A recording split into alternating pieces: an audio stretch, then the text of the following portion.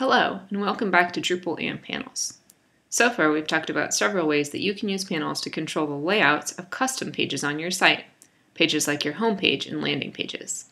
But sometimes it's useful to know how you can use panels to control the layouts of existing pages on your site.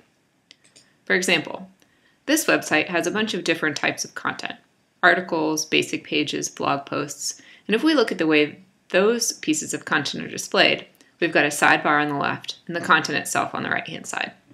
This is a fairly typical layout of content on a Drupal site. But let's say that our designer came to us with a new layout for the way articles should be displayed that involved dividing that content area into two columns. We'll have the article itself on the left hand side with a comment form in the comments on the right. It's pretty easy to do this with panels, but we're going to need to make use of the Page Manager module. We'll get there by going under the Structure section of our menu to the Pages list. This is to show, show us all of the pages that are currently being governed by Page Manager module. You can tell by the ones that are in black that only one of them is currently enabled, and that's the front page we built using panels. In this exercise, we're going to take over the node template to control the way existing nodes or pieces of content are shown on our Drupal site. We're going to do that by first enabling this template by clicking the Enable link on the right. You'll notice the color will change from gray to black. Then we'll go ahead and edit that template. The first thing you'll notice is that there are no variants provided by default.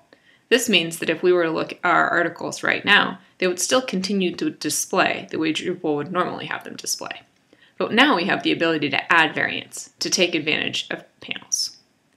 We're going to go ahead and add a new variant here. And the first thing we're going to do is give it the name of article.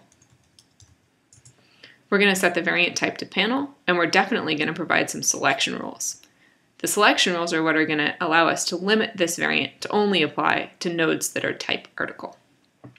We'll click Create Variant and go ahead and add some selection criteria. In this list, we're going to be looking for node type, and we're going to limit that down to only article. We'll click Continue, and on the second step, we get to choose the layout for our panel. Because the layout our designer provided us with is a very straightforward two-column 50-50 layout, that layout is provided by panels, so we can select that from this interface and click Continue. The next step, the panel settings, is where you would normally choose to hide the sidebar if you didn't want to see a sidebar. In this case, we do want a sidebar in our article, so we're going to leave that box unchecked. This is also where we could choose to change the renderer. So if you thought editors for your site might want to rearrange the location of the comments or the comment form, we could let them change that here too by changing the renderer to the in-place editor. In this case, it makes more sense to leave it as standard since these won't be changing very often. So on the second step, we're just going to go ahead and click continue and go straight ahead to our panel content settings. On panel content, we're going to start by adding the content of our node. So we'll click on the cogwheel, top left-hand side of our left side region, and click Add Content. The first thing you'll notice is that in the list of categories on the left, there's two new ones, Node and Node Tokens. These are both provided by Page Manager because we're already using the Node View template. Page Manager knows there's a bunch of new stuff it can provide to us because we're looking at a node. We're going to go ahead and add node content on the left-hand side of this page. This is the equivalent of inserting your node.tpl.php file into your panel, but it gives you a bunch of settings so that you control how you'd like that content to appear. For starters, the most important thing to set on this form is the build mode down at the very bottom. It's set to teaser by default, but we want to change this to full content since we're actually looking at the page display of our node. It's also important to uncheck the box to link title to node, since we don't need the title of this node linking to the page we're already on. A couple other things to note is that the links are turned on for our node. This is great if you're using flags or service links, but if you don't want links to appear on your node, you can also turn them off here by unchecking this box. Another box that's checked by default is the No Extras box. This will prevent the comments and comment form from coming out in the node area of your page. We're going to click Finish to insert this content, and then we're going to go ahead and add the comments and comment form to the right-hand side of the page. So again, the comment form is under the node category on the left-hand side. And as we insert that, we've got options that'll let us decide how we want that form to appear. We're going to add comments in the same way. It's also in the node category.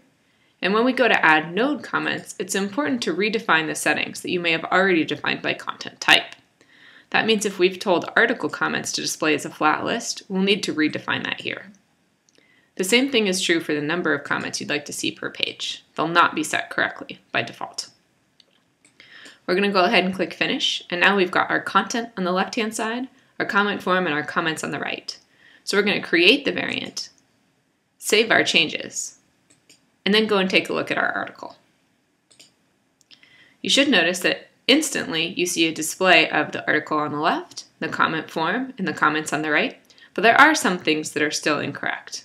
We've got a title of our node displaying twice here on the same page. Once is the page title, and once is the title of the content pane. So we're going to go back and edit this panel and make sure we turn off the title in the content pane. Structure, Pages, edit the node view template, and then we're going to choose the Content tab of the article variant. In order to change those settings, you click on the cogwheel the top right of Content pane and choose the Settings link.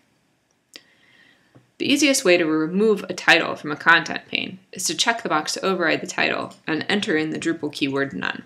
This will prevent that title from being displayed on this pane. One thing to note here is that the title for our page is already being provided by our node, so we don't necessarily need to provide something here. But one thing that I like to do, just to keep everything consistent, is to change my panel so that it matches what's actually going on. So under title type, I'm going to change the title here from manually set to from pane.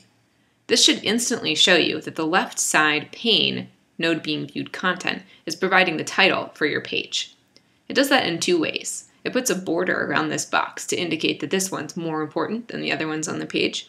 And also, if you click the cogwheel at the top right, there should be a new item in there that says panel title, and it shows a little check next to it indicating that this pane is providing the title for your whole page. I'm going to go ahead and update and save this and take a look at our article content again. Now you can see that we only have one title on our node, which is what we wanted. But before we sign off on this project, it's also good to make sure that this display is not taking over other types of content on our site as well. So we're going to go to our content list and check out what a blog looks like. As you can see, we still have the default display of content showing for blogs, meaning we've gotten everything working correctly. So now you've seen how to use panels to take over the display of existing pieces of content on your site. Stay tuned to see how you can use panels to create your own layouts, in case the ones provided for you don't exactly fit your needs. Thanks a lot!